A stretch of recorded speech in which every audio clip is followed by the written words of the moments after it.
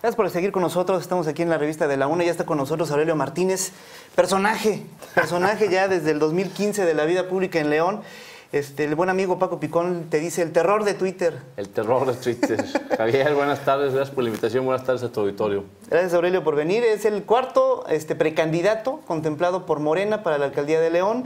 Este, una participación que llamó muchísimo la atención. Tú te diste cuenta el, el, revuelo que causó cuando estuviste primero en el evento con Andrés Manuel López Obrador en el centro, este, y después cómo fue migrando esto y cómo cambiaste de invitado, este, ahorita ser precandidato a la alcaldía por Morena. Eh, ¿Por qué, Aurelio? Digo, ya sé que lo contestaste muchas veces, pero iniciemos con eso. ¿Por qué primero renunciar al PRI y después acercarte a Morena?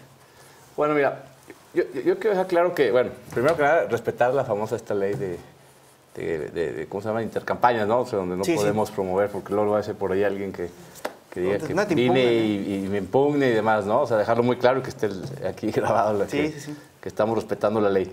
Este, yo, yo, te dejo claro que yo en el tema del PRI, yo, renuncié desde el 2015. Sí. Eh, yo tuve diferencias en el proceso electoral de 2015 eh, porque yo estaba en medio, yo era, yo era en ese entonces era delegado en funciones del comité municipal y era regidor. Entonces para mí era muy incómodo estar apoyando una candidatura del doctor Córdoba cuando desde presidencia la línea era oponerse a la candidatura del doctor Córdoba. Obstaculizarla de plano. Así es, entonces yo tomé la decisión muchas veces este, con los delegados este, del PRI que, que, que, que estaban aquí en Guanajuato, que por cierto eran de elecciones, así los dije y se los sigo sosteniendo, este, que yo me quería retirar, ¿no? Y, al final de cuentas eh, me dieron el sabadazo, pusieron a Pepe Pedrosa, después fui con Pepe Pedrosa, un buen amigo, del cual sigo este, conservando la amistad, fui con él y dije, oye Pepe, me quiero hacer un lado. Eh, dijo, no, no hagas ruido, no hagas olas, ya, mejor déjalo ahí, ahí muere, este, ya, o sea, no participes y ya. Entonces, formalmente desde entonces estoy separado. Es importante aclararlo porque no eres parte de este auge de, de priistas que en no, 15 días han estado mirando Morena. No, yo, yo, yo, yo te soy honesto, yo, yo, yo ahí, 2015 al 2018, mi proyecto de vida fue otro. Yo no tenía, honestamente, ningún interés en participar en el proceso electoral en, en el 2018. Yo lo había planeado en lo personal, decir, oye, si participo, a lo mejor hasta el próximo, hasta el 2021, este, pero no ahorita, ¿no? Pero por ahí un amigo me invitó este, a conocer a Andrés Manuel en junio, cuando fue la famosa firma del, este, que, que subí a Templete a firmar. Y ahí tuve la oportunidad de practicar con Andrés Manuel y con Jacob y con Ricardo Monreal y con este, la señora Luján eh, durante tres horas. Y platicamos de muchos temas. Uno de los que para mí en lo personal me llamaba mucho la atención y tenía mucho miedo era el tema de Venezuela. Sí. Entonces, yo sí cuestioné a Andrés Manuel, así como estamos tú y yo platicando de frente, le dije, oye, a mí no me interesa tener un México como Venezuela. Yo estoy totalmente en desacuerdo que México tienda hacia Venezuela. Y me dejó muy claro y me dejó tranquilo que no es Venezuela su proyecto. ¿sí? Y otro tema que le comenté a él también por el tema de que yo vengo de una formación empresarial y fui presidente de Coparmex en León, este, yo estoy a favor de la libre competencia y de, que, de la empresa privada. Y les dije, oye, ¿qué onda con los empresarios? O sea, porque bueno, este, la, la, la, riqueza hay que generarla, ¿no? Este, y eso se genera con, con empleos, con, con, capitales este, privados y demás. Y me dijo, estoy a favor del sector empresarial. Y, así fuimos tocando temas. Y coincidimos en muchos, en muchos como, por decirte, el tema de los salarios. Yo estoy totalmente en desacuerdo con el nivel de salarios que hoy tiene la, la clase trabajadora en el país para mí es insoportable. O sea, yo tengo amigos empresarios, soy empresario y, creo que algo tenemos que hacer como sociedad para, para que este nivel de salarios suba. O sea, es, increíble que estemos a niveles en América Latina de los más bajos. El otro día llegó una tabla por ahí, creo que el más bajo era Cuba, luego Venezuela, luego México. En este, Panamá era los más altos. O sea, ves ahí indicadores y de países que dices no es posible que tengamos este, tan bajos niveles de ingresos, ¿no? Entonces ahí sí lo doy la razón a los canadienses, ahora con el Tratado de Libre Comercio, y a Trump, ¿no? Algo tenemos que hacer, ¿no? o sea, eh, la luz, el gas, este, el transporte, los alimentos suben y, y, los salarios no suben, o sea. Entonces ahí hay un tema que tampoco es por decreto de gobierno, ¿eh? o sea, el salario no va a subir porque el gobierno ya sube, ¿no? Pero hay que hacerlo algo, tenemos que hacer algo como sociedad y como, y como país para ver de qué manera podemos tener mejor calidad de vida ahí. Y ahí empezamos a platicar, empezamos a conseguir en ese tema, platicamos del campo, este, yo estoy a favor de, que el campo mexicano se tiene que reactivar, que tenemos que volver a, voltear a ver a, los pequeños y medianos productores del campo que están totalmente desprotegidos, se volvieron clientes electorales con, apoyos como Procampo, con apoyos para fertilizantes, eh, y él dijo, oye, pues que yo tengo que entrarle otra vez al, precio, al, tema de precios de garantía, eh, aunque me digan populista, pero lo tengo que hacer porque lo hace Estados Unidos, lo hace Canadá, lo hace Europa, donde ayudan a sus productores, y, estuvimos ahí conversando varios temas, y así fuimos coincidiendo en mucho, ¿no? El tema de, de, la educación, donde yo le decía que en León era urgente llevar a cabo, este, tener más preparatorios oficiales, o sea, no es posible, tenemos de los niveles, y eso no lo visualiza la gente, ¿eh? tenemos de los niveles más bajos en educación en León, no porque los jóvenes no quieran estudiar, sino porque no hay oportunidades y los padres de familia no pueden pagar las colegiaturas. El Yunque, el PAN, le apostó a la escuela privada con un tipo de educación donde pues, no, puede, no cualquiera puede pagar una colegiatura. Entonces, ¿qué pasa después de secundaria, que es donde este, los jóvenes hasta ahí llegan, pues se vuelven pandilleros o se vuelven a, eh, a los 15 años ya terminaron su formación y buscan cómo ganarse la vida. Muchos caen en, una formación para trabajar y otros emigran hacia Estados Unidos y otros caen en la delincuencia organizada. ¿no? Entonces, necesitamos apostarle a preparatorias oficiales este, de calidad en los diferentes barrios y zonas de León. Y un tema también importantísimo, inclusive aparte de su equipo, lo llevamos acá a San Juan de Abajo, a ver la Fundación León, es el tema de los fraccionamientos irregulares en León.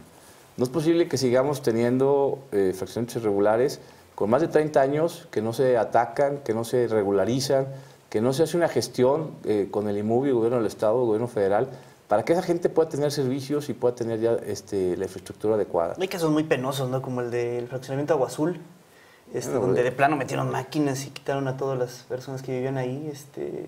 Bueno, hay una cosa que es fraccionamiento regular y otra cosa que es invasión, ¿no? O sea, también tenemos que ser respetuosos de la ley.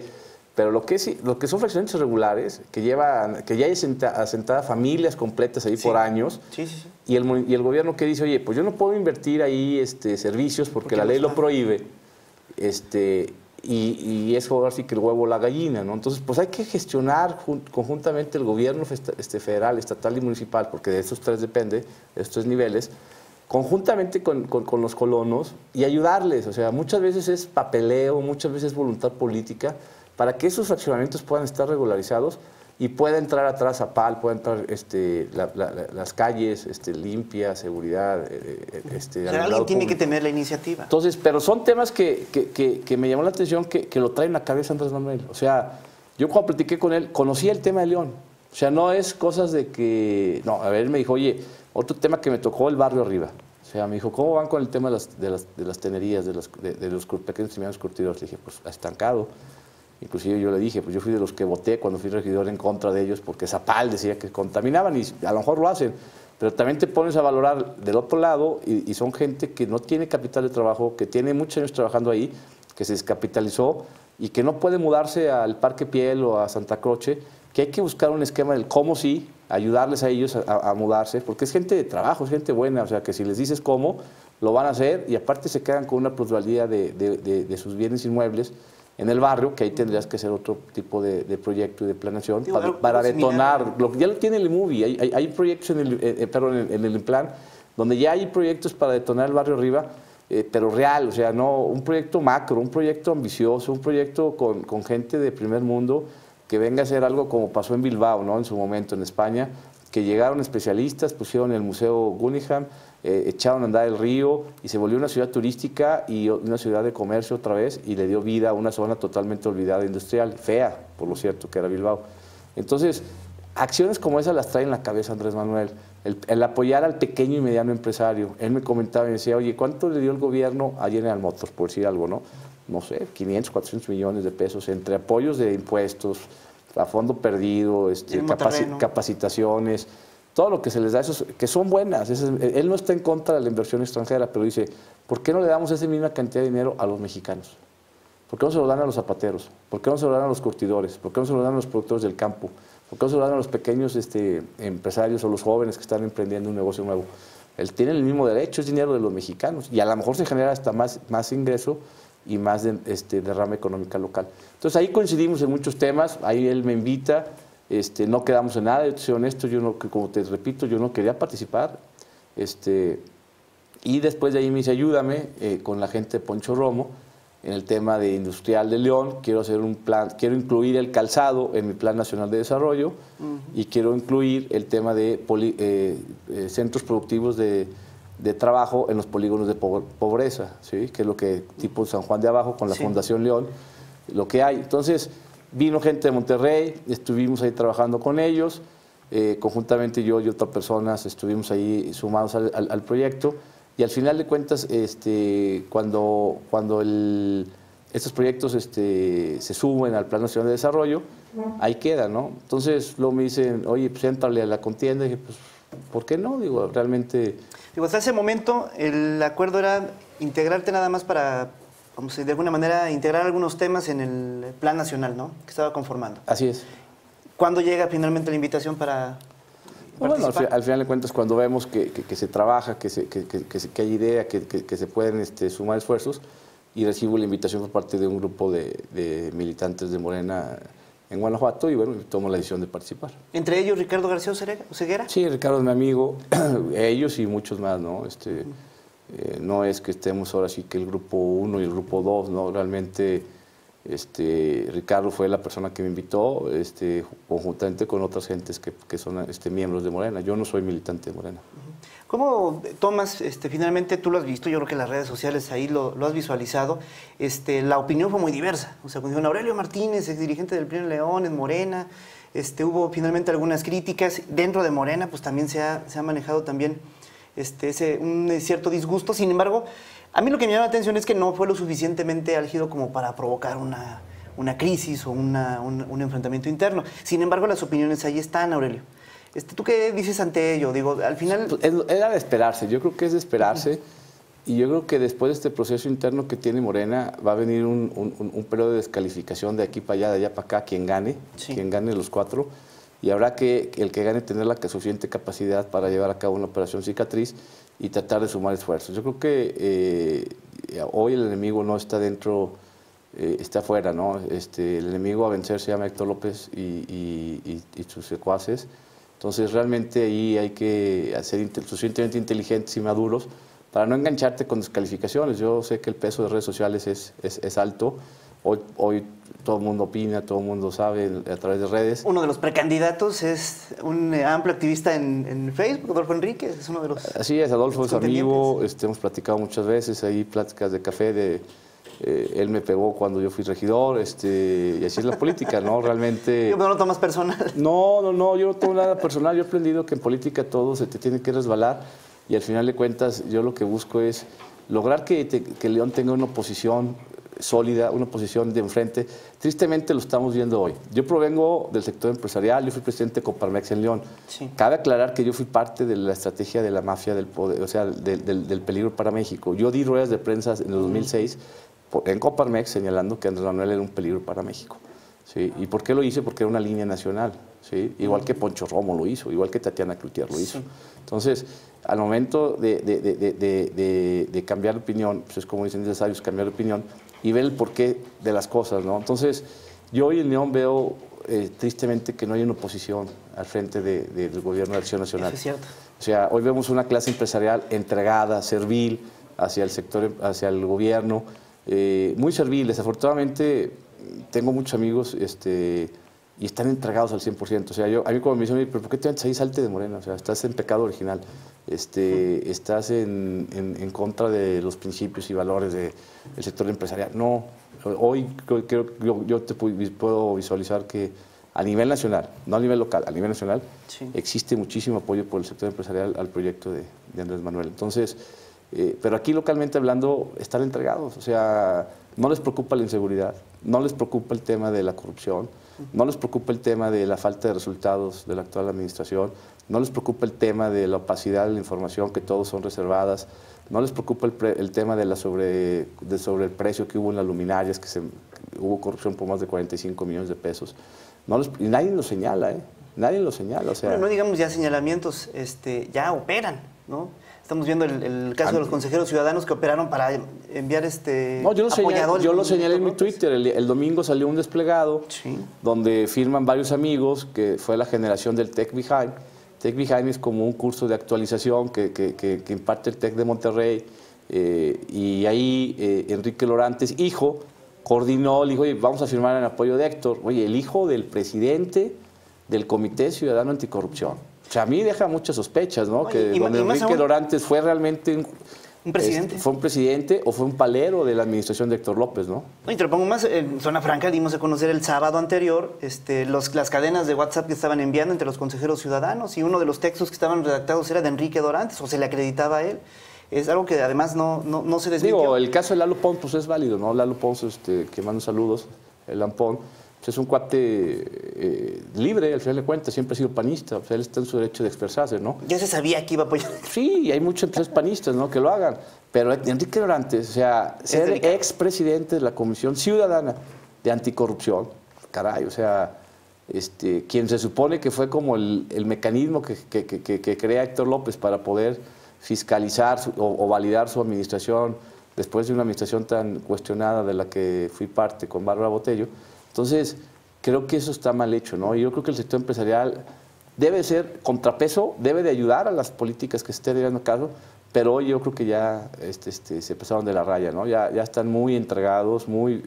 Y, lo ves, o sea, eh, eh, después de que sacan sus declaratorias, digo, por ahí en Radio Pasillo, ¿no? Son rumores, ¿no? que ellos fueron con el, este, Luis Ernesto Ayala operó, con el sector empresarial, fueron, rejuntaron firmas de, empresarios, se las llevaron a Miguel Márquez y Miguel Márquez le dijo que quién la reelección de Héctor, sí, porque, porque Bárbara dejó un cochineo en la casa, cosa que en cuestiones administrativas ahí sí no, más bien no le entienden y no saben cómo gobernar estos cuates.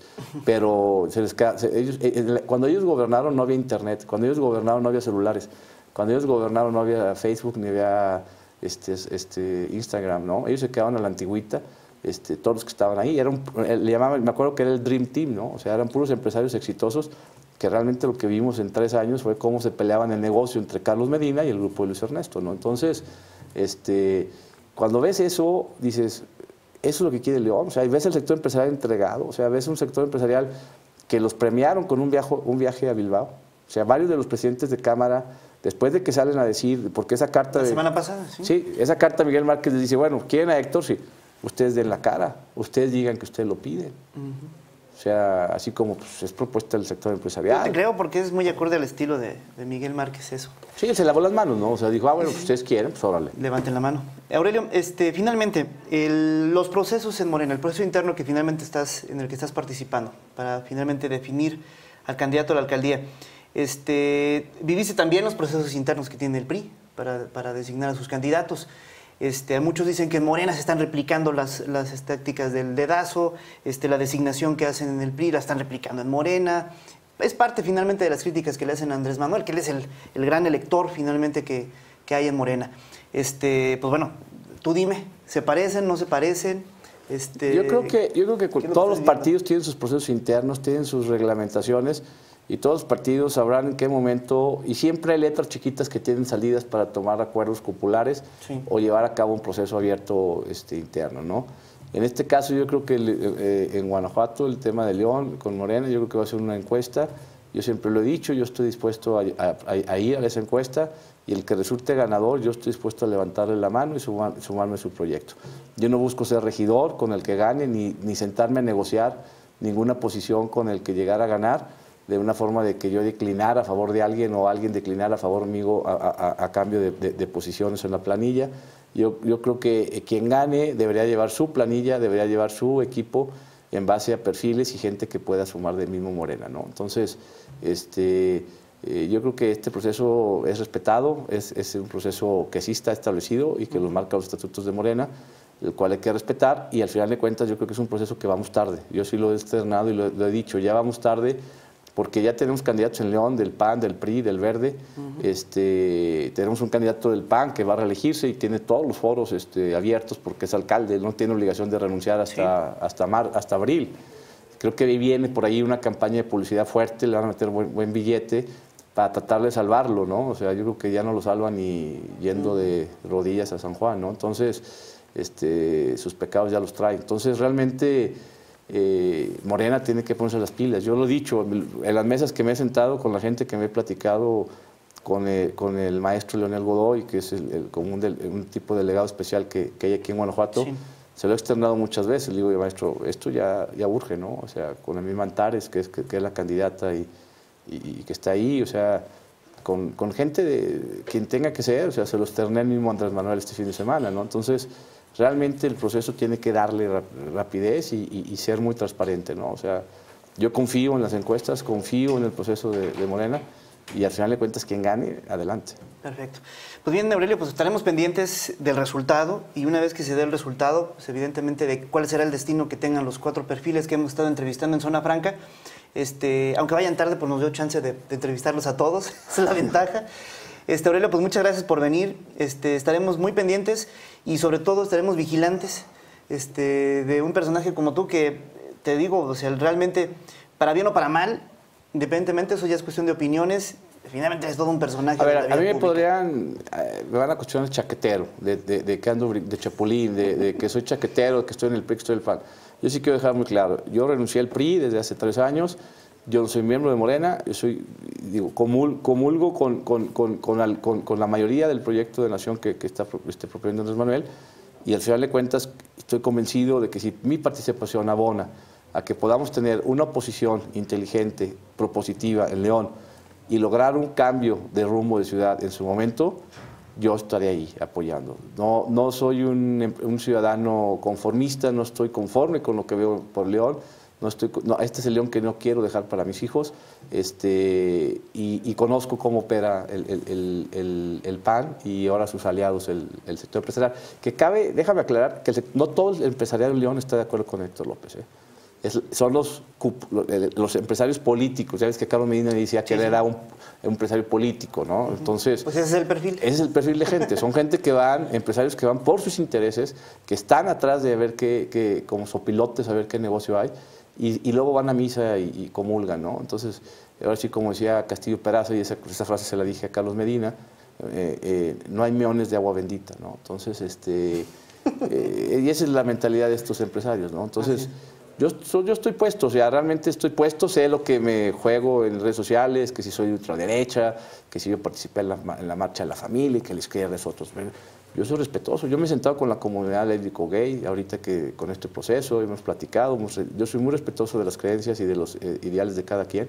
Y yo creo que al final de cuentas un gobierno es para conciliar y para tener este, un gobierno incluyente y ordenado. ¿no? Perfecto. Pues Aurelio, muchísimas gracias. Gracias a ustedes, Javier. Y un gusto. ¿eh? Ahí estamos pendientes finalmente del proceso de Morena. Con esto cerramos las entrevistas de los precandidatos de Morena. El único partido, cabe decirlo, en León que tuvo una eh, contienda interna, que lleva un proceso interno para designar a su candidato. En el PAN se supone que lo tienen, pero digo, hay, otros, hay otros parámetros. Vamos a mensaje, regresamos.